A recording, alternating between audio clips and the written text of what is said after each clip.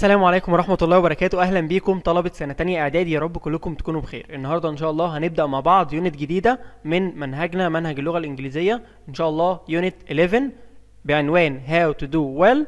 النهاردة هناخد lesson 1 و 2 طبعا lesson 1 و 2 زي ما متعودين دايما بيكون في جزء ال grammar اللي هو بإذن الله سهل جدا جدا وبسيط. النهاردة إن شاء الله في يعني خبر كده جديد أو في حاجة جديدة إن شاء الله هنعملها في الفترة الجاية. إن إحنا كمان هننزل التدريبات بالكامل بتاعة الكتاب. طبعا إحنا unit unit 10 خلصناها بس ما نزلناش التدريبات فهينزل فيديو في تدريبات unit 10 بالكامل بإذن الله في أقرب وقت ممكن. وال unitات الجاية بقى من أول unit 11 لحد ما نخلص المنهج هتكون بالنظام اللي هنمشي بيه في الفيديو بتاع النهارده. تعالوا بقى اما نبدأ ونشوف أول حاجة إيه الكلمات؟ واحدة واحدة مع بعض كده هنتعرف إزاي هنمشي خلال المنهج بتاعنا في اليونتات الجاية. أول كلمة كلمة improve. Improve معناها يطور أو يحسن. يعني إيه يطور أو يحسن؟ يعني مثلا هديك مثال سهل خالص لعيب كرة قدم.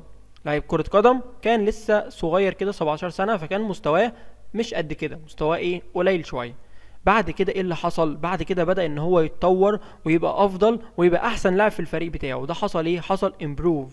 حصل improve إن هو بدأ يتطور أو يتحسن.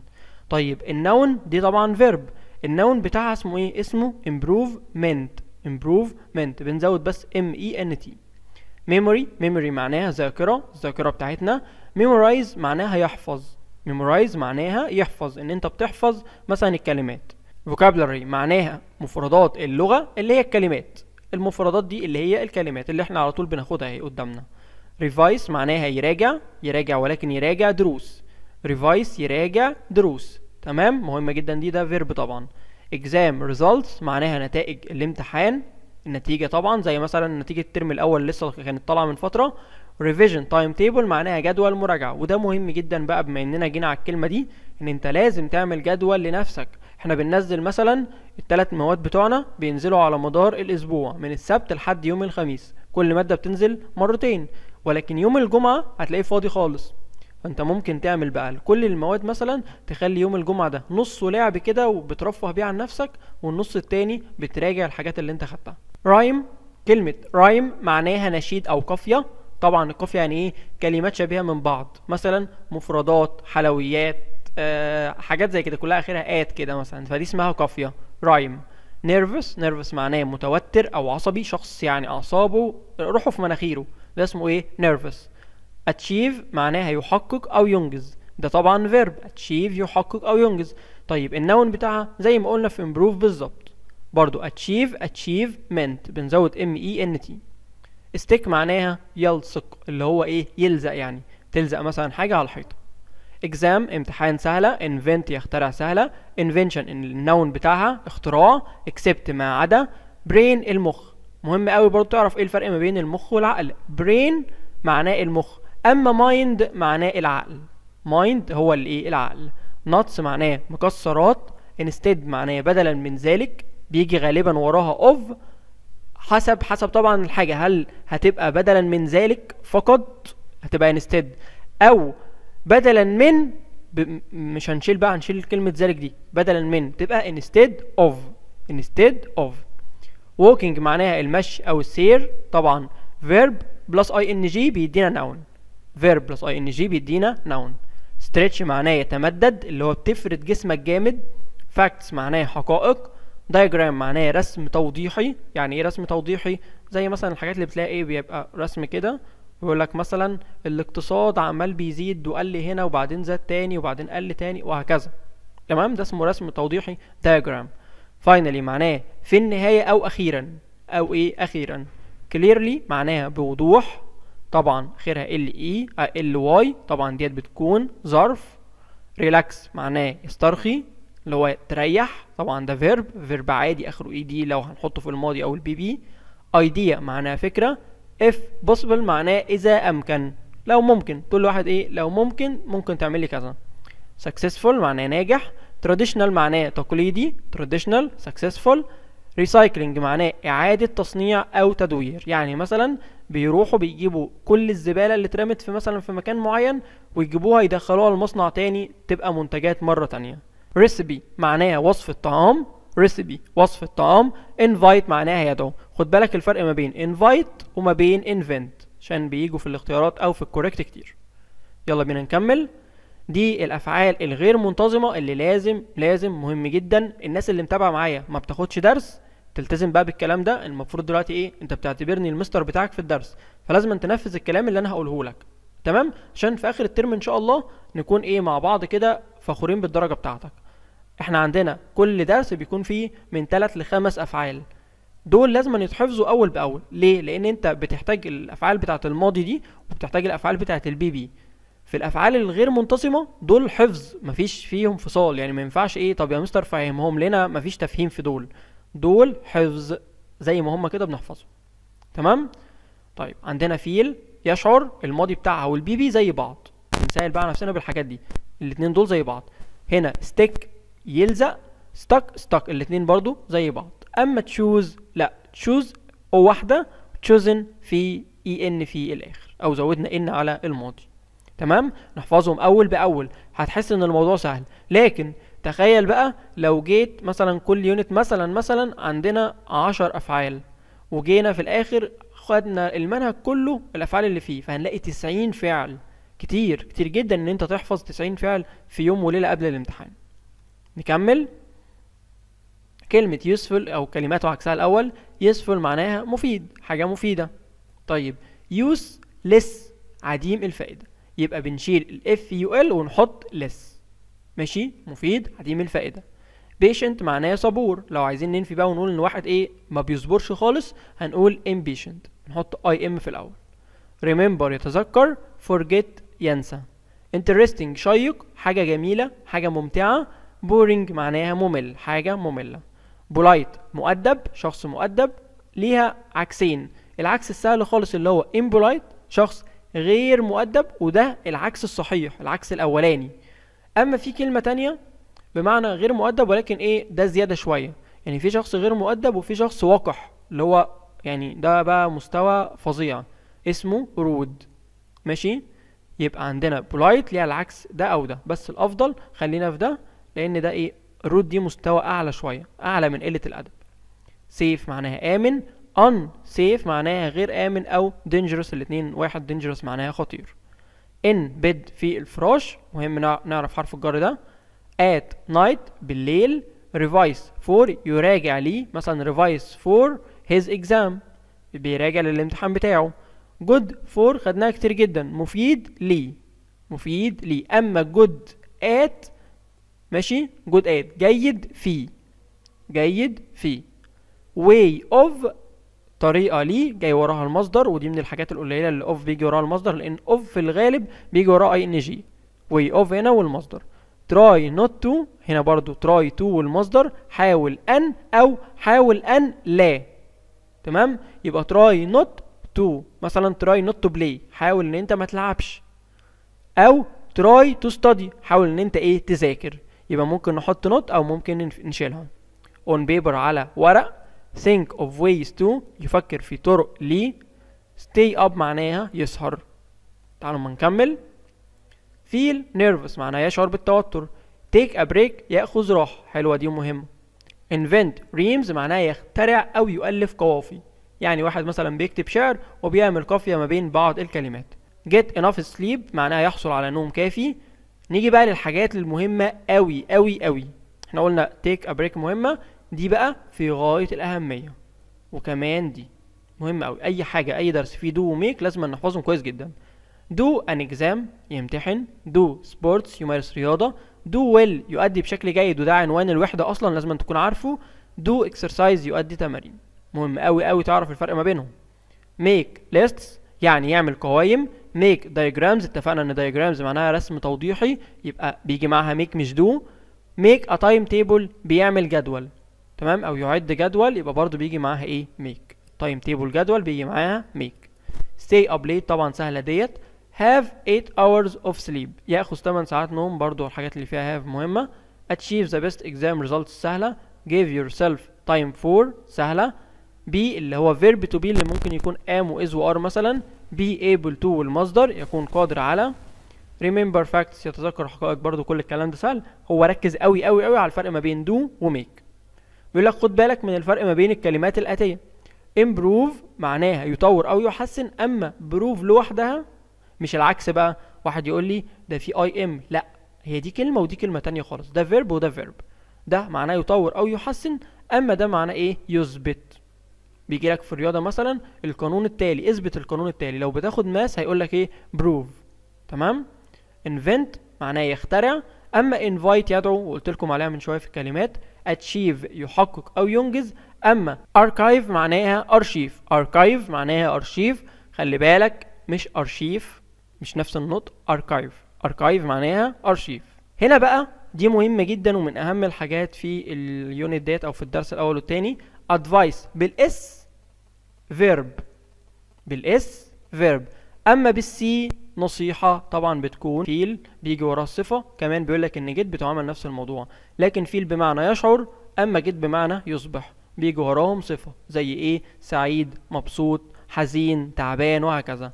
I feel nervous أنا بشعر بالعصبية أو I got bored أنا إيه؟ أص- أصبحت إن أنا إيه؟ أصبحت إن أنا أشعر بالملل.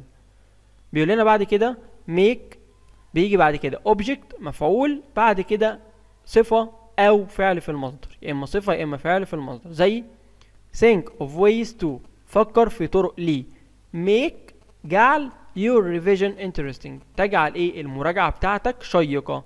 أدي هنا جاب لنا إيه؟ جاب لنا صفة adjective. تمام؟ طيب. بما إنها جاية بعد to طبعا فجاية في المصدر. eating too much makes me feel ill.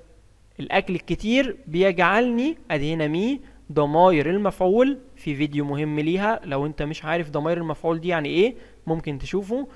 وادي هنا فعل في المصدر يبقى make وراها object أو ضمير مفعول وبعد كده وراها إيه؟ وراها يا إما صفة يا إما فعل في المصدر. بمعنى يجعل it's بيجي وراها صفة بعد كده to والمصدر. it's important أو it's a good. هنا صفة وهنا صفة. بعد كده بص كده to والمصدر to والمصدر. طبعا good idea هي على بعضها. يعني it's a good idea دي كده كلها على بعضها. فكرة جيدة. مش هنقول a good إيه it's a good idea. فكرة كويس. هنا بيقول لنا بقى ودي مهمة جدا جدا جدا جدا. ركز معايا عشان هتجيلك كمان في تالتة إعداد إن شاء الله. a ten minute break المفروض الطبيعي إن أنت بتقول إيه؟ أدي 10 يبقى المفروض هنا minutes. لا. لا هنا بنقول إيه؟ minute بالمفرد. ليه؟ لأنها بتعامل معاملة الصفة. تعامل معاملة الصفة. إن دي كلها كده كل دي كده. صفة لكلمة break تمام؟ خلي بالك من دي عشان هيجيب لك 10 minutes. حط لك s كده. 10 minutes break. يقول لك فين الغلطة؟ هتبقى الغلطة إن أنت هتشيل minute هتشيل minutes اللي هي فيها s وتحط minute بس. You should take a 10 minute break. لاحظ إن كلمة minute لم يضف إليها s ليه؟ لأنها صفة. ومعلومة لازم تعرفها دلوقتي لحد يعني طول عمرك أساسا لازم تكون عارفها.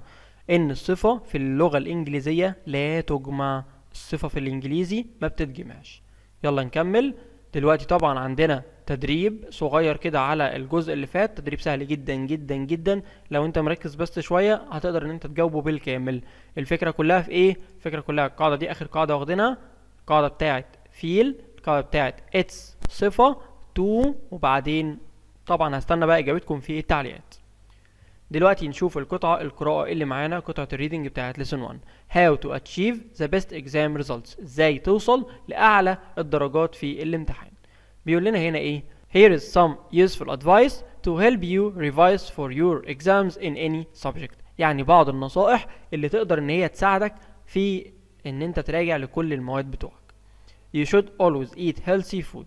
أنت لازم دايما تاكل طعام صحي. طيب ليه؟ because it's good for the brain لأنه جيد لي. خدنا بقى good for معناها جيد لي. جيد لإيه؟ جيد للمخ What should you eat if you are hungry طيب تاكل إيه لو أنت جعان؟ You shouldn't eat too many sweets ما تاكلش حلويات كتير. Choose nuts or fruit. اختار يا إما المكسرات يا إما الفاكهة لأن الحاجات دي أصلا بتساعد إن هي تحسن الذاكرة. بيقول لنا instead بدلا من ذلك يعني بدل ما تاكل حلو... حلويات تاكل إيه؟ مكسرات أو فاكهة. طيب ليه they can improve طيب كلمة لو عندنا خط كده تحت زي زي دي يقول لنا تعود على إيه؟ ركز بقى تبص للجملة اللي قبلها عشان نتدرب على القطعة. الجملة اللي قبلها إيه الحاجة الجمع فيها؟ nuts or fruit الاتنين دول. الحاجات ديت بت إيه؟ هي اللي كلمة أو ضمير زي بيعود عليهم. they can improve your memory تقدر إن هي تحسن أو تطور الذاكرة بتاعتك. You should also drink a lot of water كمان انت المفروض تشرب مية كتير. دي كده كانت أول نصيحة خاصة بالاكل you should take a 10 minute break لازم تاخد 10 دقايق راحة and do some exercise. وكمان تعمل بعض التمارين الرياضية. Exercise جه معاها do مش make. Such as walking every hour. تمشي تقوم تتمشى كده شوية كل ساعة. Because this improves your memory لأن ده برضه بيطور أو بيحسن الذاكرة بتاعتك. عايزين ننفذ الحاجات ديت ونشوف هل فعلا يعني بتفيد ولا لأ. You shouldn't stay up too late at night. ودي فعلا مهمة جدا جدا. ما تسهرش كتير جدا بالليل. If you don't get enough sleep لو أنت ما نمتش بالقدر الكافي you won't be able to remember. مش هتقدر تفتكر اللي أنت إيه all the facts that you have memorized. كل الحاجات اللي أنت ذاكرتها مش هتقدر اللي أنت تفتكرها لو مذاكرها بالليل وأنت سهران وقت كبير. دي كده النصيحة التالتة. Think of ways to make your revision interesting. يعني فكر في طرق تخلي المذاكرة بتاعتك ديت أو المراجعة بتاعتك تكون شيقة وتكون ممتعة. If you are learning vocabulary لو أنت بتدرس أو بتذاكر الكلمات write the words on paper and stick it on the walls. يعني اكتب الكلمات بتاعتك على ورق اللي هو الورق الأصفر ده. اكتبها على ورقة والزق الورق ده على الحيطة. Make lists and diagrams. اعمل يعني زي قوائم كده ورسم توضيحي with important information مع ال أو بالمعلومات المهمة. كل ما تاخد معلومات مهمة ممكن إن أنت تعمل عليها قائمه كده بالمعلومات المهمة أو تعمل رسم توضيح حسب الحاجة دي. كمان إن أنت ممكن إيه and invent reams. ممكن إن أنت كمان تقترح أو إن أنت تلاقي قافية قافية ما بين بعض الكلمات. تمام؟ مثلا improvement achievement development كده الحاجات اللي اخرها منت مثلا أنا هحفظها مع بعض وهكذا بقى. To help you remember them عشان تساعدك إن انت تفتكرهم. Finally أخيرا آخر حاجة بقى try not to get too nervous before an exam. ما تتوترش دي مهمة جدا جدا. ما تتوترش قبل الامتحان. You will think more clearly if you are أو if you relax. هتفكر بشكل أحسن بكتير جدا وتتذكر بشكل أفضل لو انت إيه لو انت مسترخي مش متوتر. دي كده القطعة بتاعتنا.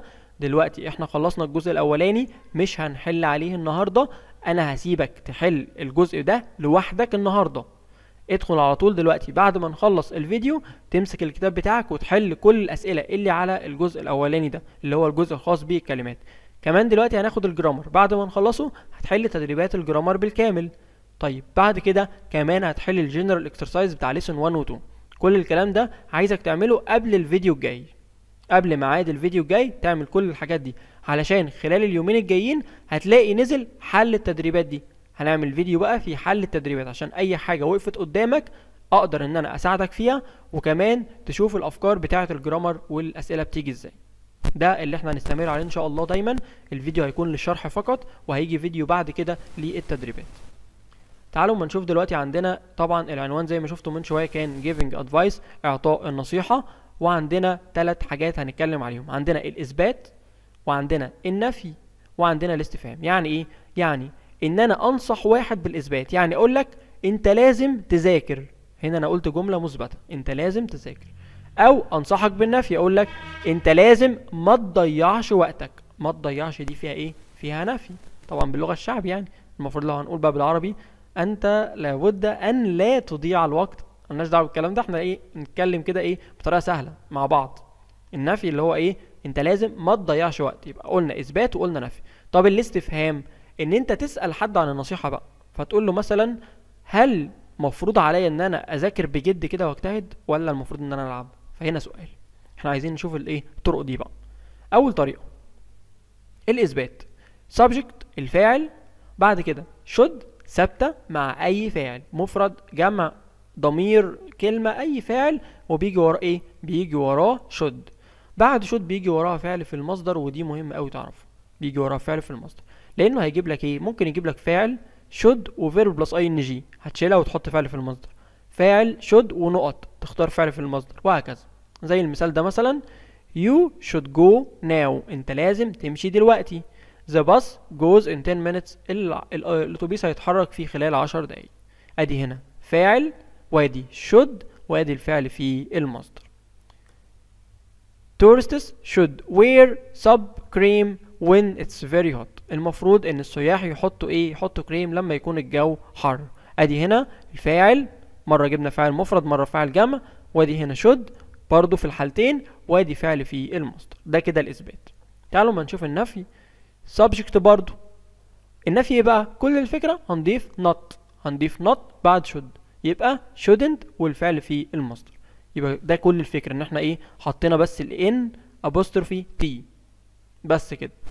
مثال you shouldn't watch. أدي هنا فاعل shouldn't والفعل في المصدر وكذلك you shouldn't stay up. أدي هنا فاعل should أو shouldn't والفعل في المصدر يبقى مفيش أسهل من كده. كل اللي أنا عايزك تفتكره كويس قوي إن في فعل هنا في المصدر السؤال بمنتهى البساطة لو انت بقى في في فيديو إزاي تكون سؤال بكل الطرق ده فيديو مهم جدا ومن أفضل الفيديوهات اللي عملناها على القناة اللي عايزه ممكن إن هو يكتب في تعليق وأحطه له إن شاء الله. فيديو حلو جدا وبيعرفك إزاي تعمل سؤال في أي جملة. فمثلا في الجملة بتاعتنا بقى دي الجملة بتتكون من إيه؟ فاعل should والفعل في المصدر. كل اللي انت هتعمله تقديم وتأخير حرف الاكس كده تقوم جايب ده الأول وجايب ده التاني. يبقى should subject وبعد كده الفعل في المصدر وتكملة الجملة وعلامة استفهام. ده سؤال بإيه؟ ده سؤال بهل. ده سؤال بهل. مثال should you go to the club هل مفروض إن أنت إيه؟ تروح النادي؟ أدي هنا should. وأدي الفاعل. وأدي الفعل في المصدر. ده طريقة سؤال. في طريقة تانية للسؤال اللي هي بأداة استفهام. نفس دي بالظبط. نفس دي كده بالظبط. بناخدها زي ما هي. وبنزود قبلها بس إيه؟ كلمة استفهام كلمة استفهامية زي where when why who كل الحاجات دي. تمام؟ وبعد كده أدي شو ده اهي وأدي السبجكت وأدي الفعل في المصدر يبقى دي كده الأساس بتاعتنا. لازم نكون عارفينها في السؤال. فمثال بيقول why should you go to the club ليه لازم إن أنت تروح إيه؟ إلى النادي؟ كده إحنا شفنا الموضوع اللي إحنا هندخل عليه دلوقتي. شفناه هنشوف بس الكتاب عرضه إزاي علشان نكون يعني شفناه بالتفصيل وبكل حاجة فيه.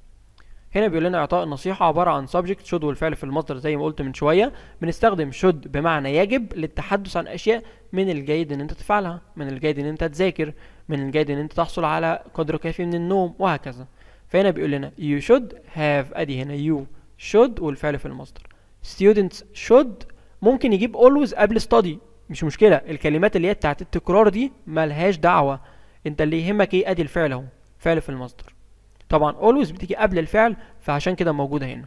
لكن should وراها الفعل برضو في المصدر عادي جدا. فجاب لك you should to help. هل should بيجي وراها to المصدر؟ أكيد إيه؟ أكيد لأ. بيجي وراها إيه؟ أكيد أنتوا عارفين بقى وهستنى أنتوا تقولوا لي. Subject shouldn't والفعل في المصدر هنا للنفي. لو عايز أقول له إيه؟ ما تضيعش وقتك. أنت لازم ما تضيعش وقتك. فهنا بعمل أهو نستخدم should زائد not بمعنى لا يجب للتحدث عن أشياء ليس من الجيد أن نفعلها. He shouldn't speak Arabic. You shouldn't watch television. أدي هنا. فاعل فاعل. shouldn't shouldn't. فعل في المصدر. هنا جايب لك إيه؟ خلي بالك دي دي طريقة تانية من السؤال. إحنا قلنا فكرة بتاعت إن يجيب لك فعل مش في المصدر فأنت تشيله وتحط فعل في المصدر. الطريقة التانية من السؤال انه يجيب لك حاجة مثلا كويسة زي eat healthy food إن أنت تاكل طعام صحي. هل دي حاجة كويسة ولا حاجة وحشة؟ طبعا حاجة كويسة. يبقى should ولا shouldn't طبعا should يبقى هنا هنشيل shouldn't ونحط بدلها should أو يقول لك مثلا you نقط smoke. smoke اللي هي معناها تدخن. smoke ده فيرب متصرف في المصدر. يعني الجملة صحيحة. هل should ولا shouldn't الاتنين ينفعوا. لكن هل التدخين شيء كويس ولا شيء وحش؟ طبعا شيء وحش عشان كده هحط إيه؟ هحط shouldn't تمام؟ دي من الأفكار اللي ممكن تجيلنا وهتشوفوها عندكم في الكتاب.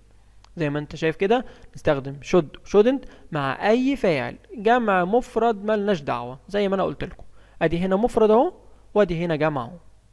نيجي للسؤال بنعمل إيه؟ ال X فاكرين؟ ال X أهي. بقت عاملة كده. أدي should بقت الأول وبعد كده الفاعل. Should I write? Should سارة get? الإجابة بتكون يا إما yes الفاعل should إما yes الفاعل should يا إما no الفاعل shouldn't. تمام؟ طيب هنا should I طبعا I دي بتتغير وبتبقى you. لما بقول لك هل أنا يجب إن أنا أكتب اسمي على الورقة بتاعتي فأقول لك أيوة أنت يجب أنت مش أنا أو لأ أنت لا يجب لا يجب إن أنت تعمل كده. هنا سارة المرة دي مش هنغير بقى الضمير ليه؟ لأن سارة هي هي شي should سارة هل سارة get up early هل سارة صحيت بدري؟ فأقول إيه؟ أو هل سارة مفروض تصحى بدري؟ فأقول أيوه هي مفروض أو لأ هي مش المفروض. تمام؟ سؤال بهل. الأول عندنا جملة أهي بيقول لنا should مريم felt أدي هنا مثال على الجملة دي. هل should أدي should أهي وأدي الفاعل. هل ده فعل في المصدر؟ هل أنتوا شايفين ده فعل في المصدر؟ أكيد لأ. عشان كده هنشيل ده ونحط إيه؟ فعل في المصدر. الفعل بتاعه اللي هو بدل failed فعل المصدر هيكون fail F A I L اللي كان من الحاجات اللي قلت لكم لازم تتحفظ. طبعا الجملة التانية نفس التركيبة هي زي ما قلتها من شوية وفي الأول بس بيكون في أداة استفهام زي when وزي what. بكده بنكون خلصنا الفيديو بتاعنا. فيديو بسيط جدا أتمنى يكون عجبكم وأتمنى يكون سهل عليكم. دلوقتي طالب منكم حاجة لازم تعملها النهاردة. لازم تذاكر الفيديو كويس جدا جدا جدا. لو أنت في حاجة سقطت منك يا ريت ترجع تعيدها مرة تانية. بعد كده. تمسك الكتاب بتاعك تفتح كده وتشوف تقرأ الحاجات بعينك مرة كمان تحفظ الكلمات طبعا تبدأ تحل الأسئلة اللي على الجزء ده بالكامل. إحنا كده خلصنا lesson 1 و 2 بالكامل. حل لحد ال general exercise حل ال general exercise كمان اللي هو تكون مستعد ل lesson 3 و 4 الكلام ده يتم إمتى؟ يتم قبل يوم الاربعاء عشان خلال الأيام ديت هنزل الفيديو بتاع التدريبات فتقدر إن أنت تشوفه وتشوف إجاباتك صح ولا غلط وتشوف الأفكار بتاعة ال grammar بالكامل. كده خلصنا الفيديو بتاعنا. أشوفكم على خير. يا ريت لو عجبك الفيديو يا ريت تسيب لنا like عشان يوصل لكل الناس ويا ريت تعمل share للفيديو على الجروبات عشان برضو نوصل لأكبر عدد ممكن من الطلبة. ولو لسه مش مشترك معانا في القناة يا ريت تشترك معانا عشان القناة تكبر وعشان أنت كمان يوصلك كل الدروس اللي بننزلها. إحنا بننزل إنجليزي ودراسات وعلوم تقدر تلاقي كل الحاجات ديت ببساطة جدا. إن أنت تلاقي الوصف هيكون في لينك في الوصف. في كل المنهج بتاعك سواء في أي لغة من أو أي مادة من الثلاث مواد. أشوفكم على خير إن شاء الله في فيديو جديد. والسلام عليكم ورحمة الله وبركاته.